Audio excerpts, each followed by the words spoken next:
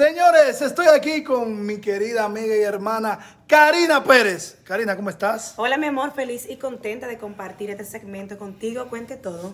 Karina, tú sabes que primera, primero quiero que tú le hables a la gente de tu historia, porque la gente quiere saber de dónde viene Karina, porque la, Karina tiene una historia. ¿Cómo llega Karina a la televisión? A través de oportunidades. Yo trabajé en una agencia de modelaje eh, ahí me involucré con varias personas del medio y bueno, en busca, como dije anteriormente, de oportunidad, pues se me presentó una actividad aquí en el canal, me conocieron algunos productores, amigos y cositas así, y fui haciendo relaciones hasta que un día entonces para el proyecto El Show de la Comedia, a través de Bolivita, Érico, Miguel Alcántara también, fue totalmente un engranaje de personas que me ayudaron y aportaron a que se me diera la oportunidad y aquí estoy hasta ahora dándolo todo. ¿Tú te preparaste? ¿Tienes curso de actuación? ¿Hiciste este tipo de cosas? Por supuesto que sí, para que la gente no se equivoque. De profesión yo soy mercadóloga. Mi matrícula eh, 2004 en Unicaribe, pero por supuesto que me preparé en comunicación con el señor... Eh, se me fue el nombre. Eh, Don Teo Veras, Don, Teo Veras Don Teo Veras, con él hice la maestría de ceremonias y con unos maestros argentinos, eh, Julio Hoppelman, lo hice, ah, perdón, Heidelman, Hoppelman no, Heidelman, que son unos eh, maestros argentinos. Con ellos me preparé aquí en locución, oratoria y maestra de ceremonia, como dije, con el señor Teo Veras, que en paz descanse.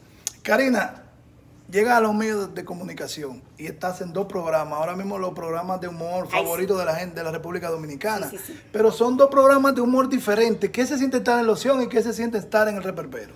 Totalmente tal y como tú lo dijiste, diferentes. En la opción sabemos que es un programa familiar, el reperpero es un programa para adultos y realmente es una transición totalmente distinto. Aquí tú sabes que hacemos, de, eh, hacemos humor diferente y el horario amerita, por ejemplo, el de la noche, de que solamente los adultos sean sus espectadores principales. Ya de usted la responsabilidad que los niños lo vean, pero en el día pueden disfrutar en la opción. Realmente son dos Carinas muy diferentes.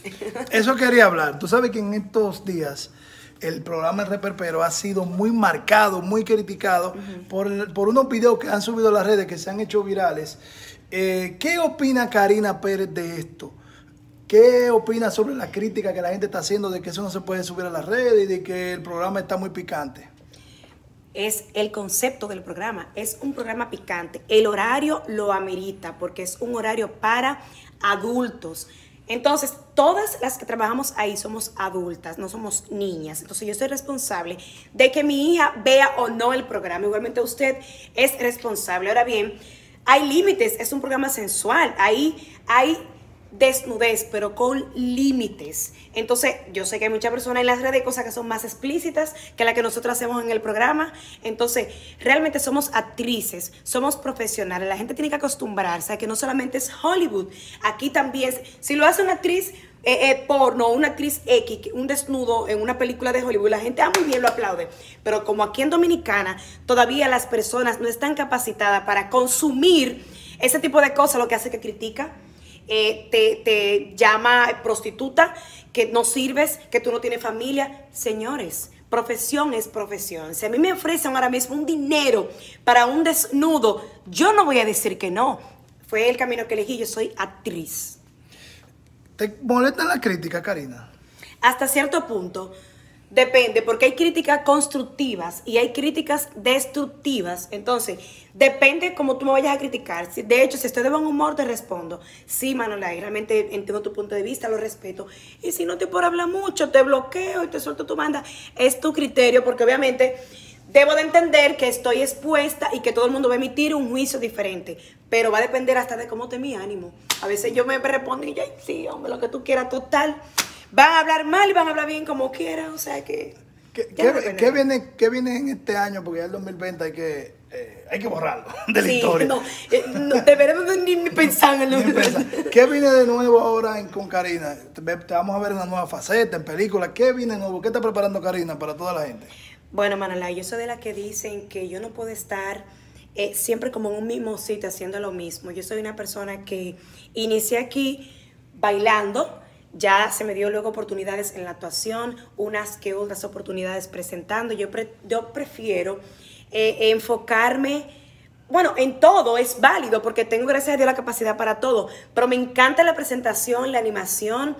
Muchas personas y compañeros cercanos a mí me han... Eh, me han, me han hecho sus aportes y me han aconsejado para que me siga preparando, que lea muchísimo y realmente yo sé y estoy consciente de que la belleza pasa, más la preparación aquí perdura. Entonces yo voy a seguir preparándome para que siendo oportunidades que se me presenten en la comunicación estaré ahí decir presente. Mándamele un beso a toda la gente que sigue nuestro canal de YouTube y las redes sociales. Karina Pérez. Un saludito muy especial a toda esa gente que siempre sintoniza el canal de YouTube de mi querido gordo favorito, Manolay. No te pierdas esta súper entrevista y por supuesto, sígame Karina Pérez HD. Los quiero.